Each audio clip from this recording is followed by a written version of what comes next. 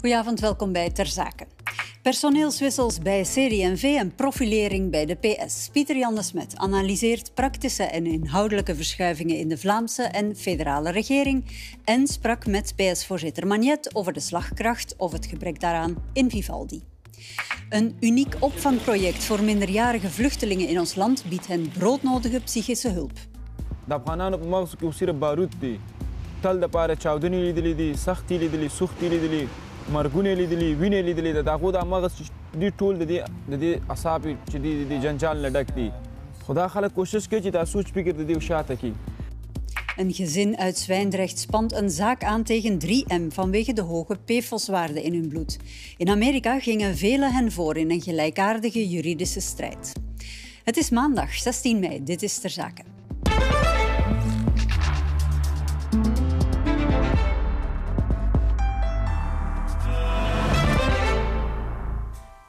Zo net is de partijraad van CD&V van start gegaan. Er moet beslist worden wie Wouter Beke opvolgt als minister van Welzijn. Hij kondigde, dat weet u, vrijdag zijn ontslag aan. Pieter Jan de Smet, jij uh, staat daar paraat. Is al duidelijk wie dat wordt, die opvolger? Wel, de partijraad is uh, net begonnen. Daar worden de leden van CD&V ingelicht over welk voorstel uh, de partij doet. En dat moet daar dan goedgekeurd worden die avond. Uh, de pers is hier volop aanwezig. iedereen is benieuwd naar hoe CD&V hun personeelspuzzel helemaal gaat leggen. Maar op dit moment is de definitieve puzzel nog niet bekend. En van zodra we daarover meer weten, komen we zeker terug. Ja, er hangt wel wat aan elkaar. Ook op federaal niveau wordt er geschoven. Uh, staatssecretaris van Asiel en Migratie moet allicht ook vervangen worden. Um, nochtans, ook veel werk op de plank, zowel voor de Vlaamse als de federale regering. PS kwam vandaag met concrete voorstellen over koopkracht. Wat heb je daarover vernomen en waarom deden ze dat? Ja, dat was inderdaad opmerkelijk. De PS van Paul Mayet heeft de pers bijeengeroepen vandaag. En voor allemaal maatregelen rond koopkracht. Ze hadden een hele bundel met allemaal maatregelen. En de pers begreep niet goed wat eigenlijk de bedoeling was. Er werd ook naar elkaar gekeken van waarom doet men dit nu precies. En blijkbaar wil men gewoon nog eens heel erg duidelijk maken welke koopkrachtpunten de PS belangrijk vindt. De partij zit in de regering met ook Pierre-Yves Dermagne, vicepremier, bevoegd voor werk. Uh, ja, de vraag is dan eigenlijk waarom ze een aantal punten daar dan niet uh, op tafel leggen en harder op tafel kloppen. We hebben daarover gesproken met Paul Magnet en ook over een van zijn eisen, onder meer de loonnormwet. Nog even kort kaderen. Dat gaat erover dat eigenlijk de lonen ja, gelijke tred houden met de lonen van de buurlanden om te vermijden dat uh, België een concurrentieel nadeel zou leiden. Maar Paul Magnet vindt dat er toch nog hogere loonsverhogingen moeten mogelijk zijn. We hebben deze namiddag gesproken met Paul Magnet. We gaan eens kijken. U komt nu met 13 maatregelen. Waarom, ja, via een persconferentie, waarom realiseert u dat niet binnen de regering? We praten heel veel binnen de regering, uiteraard. Maar dat helpt niet. iedereen heeft al een aantal pisten gegeven in verschillende interviews. We wilden één persconferentie hebben met een duidelijke boodschap. Wij moeten iets doen voor de koopkracht. Pierre-Yves Dermagne gaat dat aankaarten. Wat als hij dat niet haalt? Uh, gaan jullie dan uit de regering? Nee, maar we zullen nooit de regering doen vallen. Ik heb meer dan één jaar besteden om deze regering op poten te zetten. Ik wilde vanaf dag één een, een Vivaldi. Maar bijvoorbeeld die aanpassing van de loonwet van 96, dat staat niet in het regeerakkoord. Dat staat niet in het regeerakkoord, dat is waar. Maar welke kracht de verhoging, heeft u dan? De, de verhoging van de van minimumloon was ook niet in het regeerakkoord. We hebben toch een discussie gehad binnen de regering en met de sociale partners. U denkt en, dat dat kan en, en we hebben eigenlijk toch een akkoord kunnen vinden. Er zal een debat uh, plaatsvinden in de commissie Sociale Zaken van, van het parlement. Als we kijken naar jullie plannen voor de werkgelegenheid, jullie willen 80% halen. Als we kijken waar we op dit moment uh, staan, jullie leveren ook de minister van Werk. Op dit moment is bijna 40% van de Brusselaars op beroepsactieve leeftijd uh, niet aan het werk. Wat gaat u daaraan doen? We gaan in de goede richting. En een van de manieren om dat te doen is inderdaad de laagste lonen te verhogen. Er zijn veel mensen die vandaag moeten betalen om te gaan werken. De mensen die hun wagen absoluut nodig hebben om te gaan werken, zij moeten betalen om te gaan werken. Dat is niet, dat is niet de, de goede manier om die mensen aan te moedigen. Zoals Joe Biden uh, zei in, in de VS, pay them more. Maar ook uw coalitiepartners zeggen eigenlijk, Pierre-Yves Dermagne, de PS, ze doen te weinig om mensen aan het werk te krijgen. U heeft ook die uitspraak gedaan van schaf de e-commerce af. Begrijpt u dat collega's u ja, niet meer geloven als jullie zeggen dat jullie echt mensen aan de slag willen? Nee, wij willen echt de mensen aan de slag, maar we hebben misschien niet dezelfde, dezelfde methode, dezelfde manier. We denken niet dat, dat het via meer druk op de mensen, meer sancties kan werken. Wij denken dat wij de mensen moeten aanmoedigen. Maar erkent u, hoe komt het op dit moment dan dat er zo'n grote regionale verschillen zijn volgens u? Ja, maar een regionale verschil eh, bestond al twintig jaar geleden. Hè. Dus dat is niks nieuws. Maar het keert uh, dat, niet. dat is een probleem die het gevolg is van de enorme industriële crisis in Wallonië uh, eh, 30 of 40 jaar geleden. Het gaat beter, maar niet snel genoeg. ik ben de eerste om dat toe te geven. Ja, Pieter Jan, de PS dus met ideeën over uh, koopkrachtstimulering. Maar um, zij zijn natuurlijk maar één partij in die Vivaldi-regering. Wat mogen we nog van Vivaldi verwachten? Ja, dat is een uh, goede vraag, want er gaan heel veel geruchten hè, dat het uh, echt niet meer loopt uh, met Vivaldi, dat bepaalde partijen er echt genoeg van hebben. Er zijn ook vragen wat CD&V zal doen, dat de relatie tussen Paul Magnet, PS-voorzitter, en premier De Croo helemaal niet goed zou zijn en zo meer. Nu, we hebben een aantal van die zaken voorgelegd aan Paul Magnet deze namiddag en hij ja, zette zich toch echt in de markt als een diepe, overtuigde Vivaldist en iemand die nog echt voor dat project wil gaan, dat zei hij tenminste toch voor onze camera. Uh, we gaan eens kijken wat daar allemaal is verklaard. U vindt dat premier De Croo goed bezig is? Ja, ik zal uh, Alexander uh, en premier De Croo steunen om goede oplossingen te vinden voor de Belgen. Ja, u steunt hem, maar vindt u dat hij goed bezig is ook? Ja, ik heb geen kritiek en zou ik kritiek hebben, ik zou hem direct bellen om dat te zeggen. Heeft u recent nog met meneer De Croo gebeld dan? Ja, niet lang geleden, enkele weken geleden. Om hem te zeggen dat het wat nee, vooruit nee, moest om, gaan? Om een algemene discussie te hebben over eh, de situatie in België. Wat moeten wij doen over de lonen, koopkrachten enzovoort. Energieprijzen, al die dingen. Als we um, intussen kijken naar de peiling en de onderzoeken, eigenlijk gaan quasi alle Vivaldi-partijen erop achteruit. Um, noemt u Vivaldi een succes eigenlijk? Het is nog veel te vroeg om dat, om dat te zeggen. Hè. Dat de peilingen niet heel goed zijn nu, dat wij uh, uh, in het midden van een crisis zijn met uh, een enorme koopkrachtcrisis. we moeten nu beslissingen nemen, we moeten goede en sterke antwoorden hebben. En dan zullen, ben ik ben ervan overtuigd, zullen de mensen uh, meer vertrouwen hebben nog dan vandaag. Hoe verklaart u dat vooruit erop vooruit gaan en andere partijen ook de uwe achteruit? Maar, want de mensen beginnen te beseffen in Vlaanderen, zoals overal in Europa, dat het socialisme het beste antwoord is voor iedereen. Ja, en, waarom gaat u dan achteruit in Wallonië? We zijn nog bijna aan 25 procent, is dus nog een heel... 22, denk ja, ja, een ja. hoge marge. Wat als CD&V uit de regering zou stappen, kan Vivaldi dan doorgaan wat u betreft? Bah, ik, ik, kan me niet gemakkelijk uh, een dergelijke scenario inbeelden. Ik denk dat uh, als er maar één partij in de regering blijft, zal dat de CD&V zijn. U denkt niet dat zij gaan vertrekken? Nee, ze zijn in, uh, in een enorme, hele lange crisis na de Zweedse coalitie altijd in de regering gebleven. De burgers zijn nooit tevreden als een partij een regering doet vallen en de premier is de eerste die dat wel weet. Intussen kan uw uh, ja, geestesgenoot Conor Rousseau het goed vinden met Bart de Wever. Ze gingen onlangs ook uh, lunchen samen. Bent u nog recent met meneer de Wever gaan lunchen? Nee, in nee. de laatste twee jaar heb ik uh, geen contact met meneer de Wever gehad. Er zijn totaal geen contacten tussen de PS en nee, de ja, contact de met, de, met de partijvoorzitters van, van, van de meerderheid. Het zou in 2024 wel eens heel moeilijk kunnen worden als de uiterste partijen zo groot worden dat er zelfs geen tweederde meerderheid is voor een staatshervorming. Wat gaat er dan gebeuren? Maar niet alleen maar om een staatshervorming te maken, maar zelfs om een regering te vormen zou het heel moeilijk worden.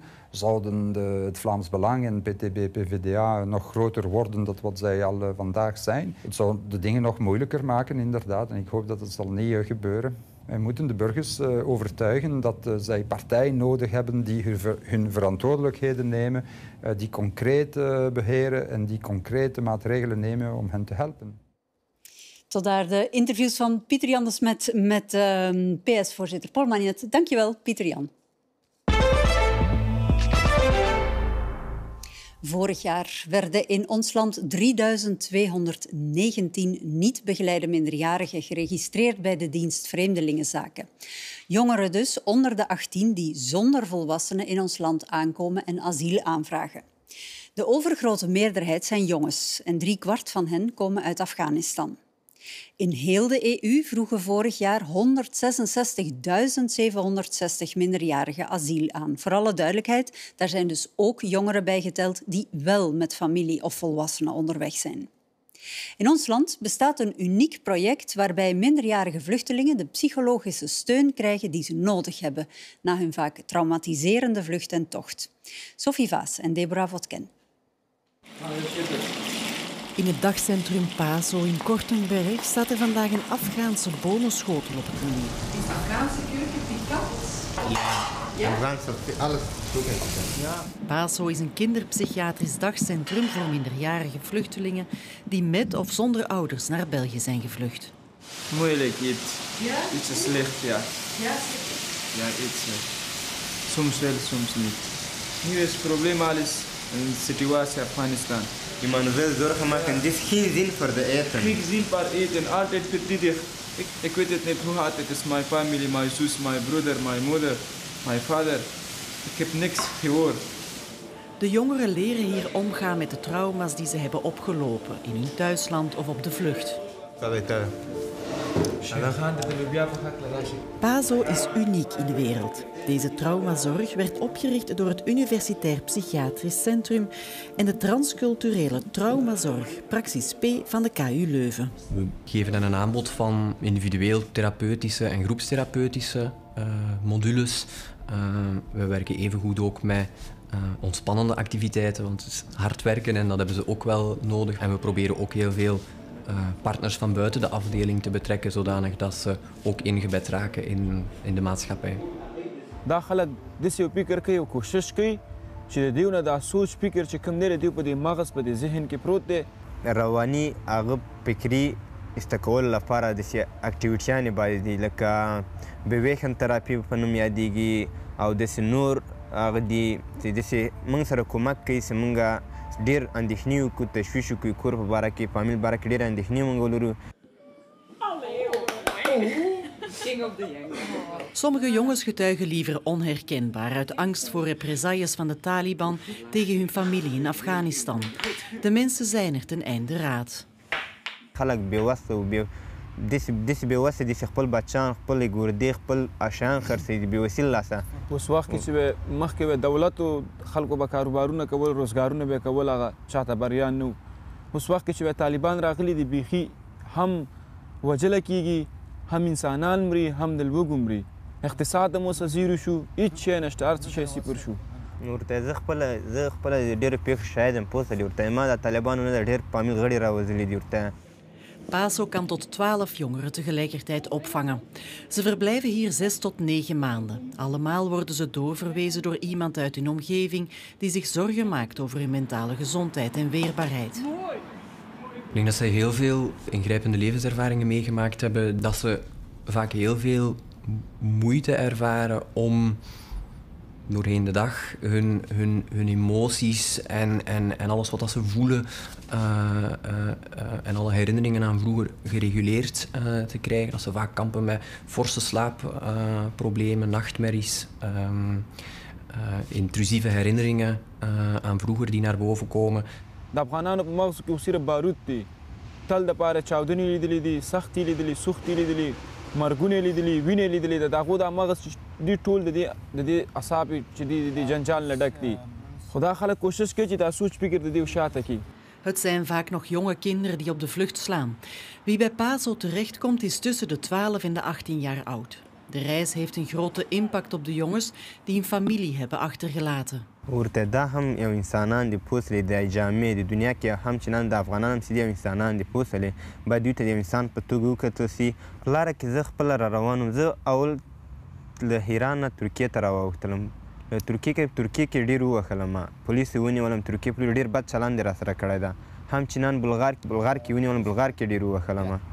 ورته موږ ته ډېر ملکونه د انسان په توګه نه ګوري. موږ ته انسانات د بشر په توګه نه ګوري. چې موږ هم دغه د دغه یو بشر دغه د دنیا انسانان یاست موږ د دنیا ته انسان راغلی یاستو Het is dankzij een nauwe samenwerking tussen de jeugdpsychiatrie enerzijds en de jeugdzorg anderzijds dat dit project kon gerealiseerd worden.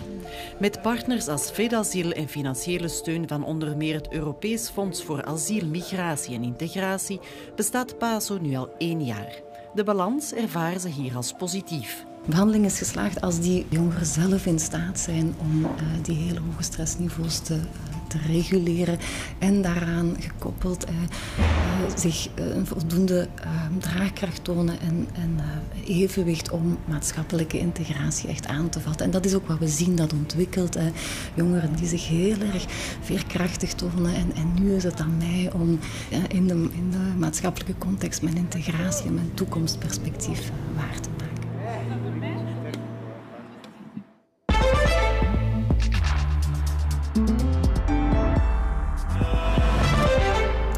Een gezin uit de omgeving van 3M in Zwijndrecht neemt de vlucht vooruit en stapt naar de rechter. Bij mogelijk toekomstige gezondheidsproblemen moet de rol van 3M in rekening gebracht kunnen worden, vinden ze. In Amerika, meer bepaald in Alabama, gingen velen hen voor in een gelijkaardige juridische strijd. Deborah Votken bewerkte een reportage van de VPRO uit hun frontliniereeks. I have a very strong personal relations with this river. I have been on it since I was 14 on my own, you know, with my own boat. What was your job here on the river? I mussel dive. When the mussels became a uh, high quality thing, when Australia started using making in the pearl industry, some of the mussels were bringing ten dollars a pound. Yeah, man. So that's good money. Yeah, that's good money. So I knew where the fish was, and where the fish was is where the mussels was. But 98% of the mussels are gone, and they killed them. So there are no mussels left in this river? It's called a dead zone. A you dead know, it's a dead zone. Mosselduiker Ron Mixon wilde erachter komen waarom de schelpdieren verdwenen. En dus liet hij het water testen op giftige stoffen. When I started the testing on the river, I was looking for heavy metals. There's toxic levels of lead, there's toxic levels of copper, there's toxic levels of chromium. Scientists checked and said, even though you've got heavy metals, the PFAS is your silent killer right here. And it's toxic levels. Het spoor leidt naar een 3M-fabriek, een vergelijkbare fabriek als die bij ons in Zwijndrecht. Now you're getting into 3M territory. Het blijkt dat 3M PFAS in de rivier loosde. De bewoners die er omheen wonen strijden al vijf jaar tegen het bedrijf vanwege de vervuiling en gezondheidsklachten die ermee gepaard gaan. All about money and power and, and uh, greed. There was 12 of us, like the old 12 amigos, that we stayed on this river when it got summertime. We were skiing, you know, or running trot lines and that type thing. But it, this river was a part of our life, you know. When we had time or we had this, we were on the river in some form or another, either fishing or playing with our family.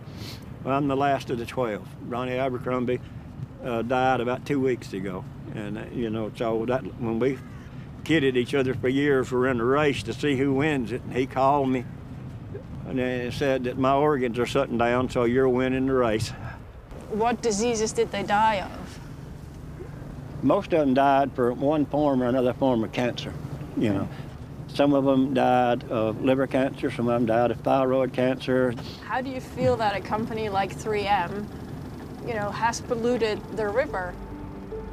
It makes you angry, but it makes you sad that we've allowed it to come to this stage. Het is moeilijk om individuele gezondheidsklachten toe te wijzen aan PFAS-vervuiling. Maar het viel sommige mensen in Decatur op dat meerdere bewoners ziek werden. Mensen zoals Brenda Hampton bijvoorbeeld.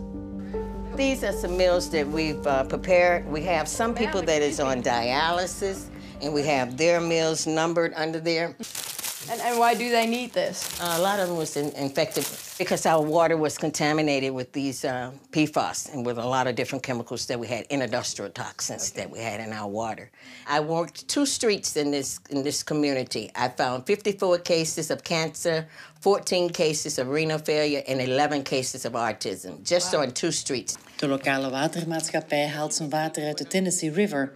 Brenda ontdekte extreem hoge PFAS-waarden in haar drinkwater. When you found out that your water was contaminated, what, what did you do? What did you think? I organized. I got a group. I started telling people this is what we have in our water. We deliver food, water, whatever the people need. Hey, babe. You doing all right? Doing the best I can. Doing the best you can. I don't like a baby sit up, fall over. Now God to bless me where I can walk. I got my friend Brenda. She look out for me. Er zijn meerdere signalen dat er wat aan de hand is met water. Toch gebeurt er jarenlang niets. Tot het lokale waterleidingsbedrijf het water test en het onveilig blijkt om te drinken. 3M just uh, released its chemicals into the water, uh, both on purpose and you know through years of neglect and through uh, the disposal of sludge on their plant site, which then leached into the groundwater and went into the river. Advocaat Gary Davis neemt het namens het waterbedrijf op tegen 3M. And what values of PFAS were found in this river? At the intake to the water authority, uh, the levels were in sometimes uh, 100, sometimes 150 parts per trillion, sometimes 70, sometimes lower, but enough that you would be concerned and above the health advisory. Ze nemen een ongewone stap. Het waterbedrijf adviseert de klanten het water niet meer te drinken en spant een rechtszaak aan tegen 3M. It was unusual, but they wanted to provide safe water. And the only way to do that was to have the money to be able to put in a new treatment system to remove the PFAS from the water. Yeah. And so that's the only recourse. I mean, they asked 3M, they said, Would you take care of this? And 3M said no. And so the only recourse they had was to sue. How did your uh, case against 3M end up? We ended up uh, settling the case, um, and um, For how much? if well, ask? it's $36 million to construct the treatment plant. Veel mensen hier zijn kwaad op 3M, maar tegelijkertijd zorgt het bedrijf voor werk en inkomsten. They get paid a, a good salary and uh, they live very well, most of the employees from 3M. I have 3M employees in my family. Really? Yes. Wh- Who are they? My daughter is a 3M employee, Oh, wow. and my son in law is a 3M employee. Okay, so close to home. Yes. And how did they respond to your? Oh, my daughter was very upset about it. Um, She's young. She really didn't understand. And she had some coworkers that were telling her, oh, your mom is going to get you fired. Even my daughter and my son-in-law, they take their clothing off before they go in the house around their children. And they'd have a separate shower on the outside because they're afraid of the dust that might have gotten on their clothing where they're coming in to contaminate the family. They do not wash their clothes with the family or anything. There's a separate. De omvang van het PFAS-probleem begint steeds meer door te dringen. Hoe kan het dat 3M zo lang vrij spel heeft gekregen? Met die vraag ga ik naar de gekozen voorzitter van het district waar Decatur in ligt. Ray Long maakt er geen geheim van dat hij graag samenwerkt met bedrijven zoals 3M. A lot of people criticize any company that come in. You know, there's there's people that, that really don't really want industry, but but they want to eat. You know, they want to have jobs and stuff. So the only way to get them is, is for the industry. If my water was contaminated as much as it was, or you know, if my uh, area had as many landfills as it does with toxic waste, I would be so angry. Aren't you angry?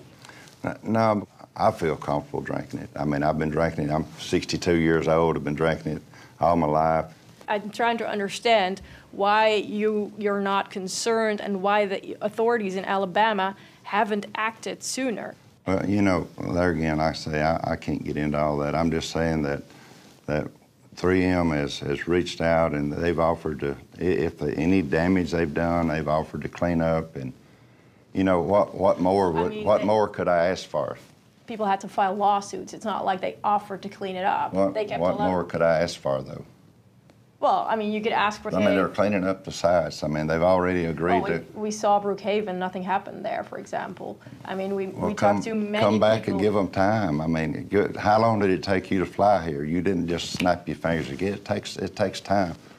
Well, I mean, Well, I appreciate y'all coming. I really do. Yeah. I mean, I appreciate it, and, and you know, like I say, that's you know, that's all I can tell you. You're trying to get me involved. I have involved one last in. question for you. I understand that they are a big, important player, but now it seems like economic profit is more important than No, the health I- of the people. I That- don't- That's how it comes across to me. Yeah, and and that's good. I mean, I, I love to hear people's opinion, and I, and I'm proud that's your opinion, but you don't live here. No. And so Well, we, we have lot of most of our people. do. Most of our people here are, you know, they love 3M. 3M wilde niet op camera reageren. Ze blijven volhouden dat er geen gezondheidseffecten zijn. Uit gelekte interne documenten blijkt nogthans dat 3M al sinds de jaren 70 aanwijzingen had van mogelijke negatieve effecten op de gezondheid. Maar 3M blijft ontkennen. We laten advocaat Gary Davies een fragment zien van de hoorzitting met verantwoordelijke van 3M in het Vlaams parlement. Um, I want to show you something.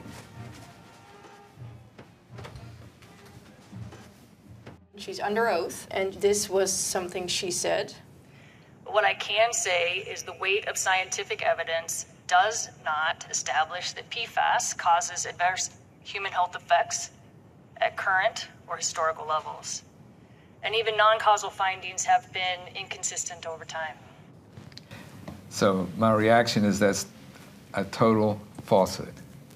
I mean that you know the, the weight of scientific evidence is growing every day. The exposure can cause a variety of illnesses, including kidney cancer, testicular cancer, uh, can cause uh, immune system defects.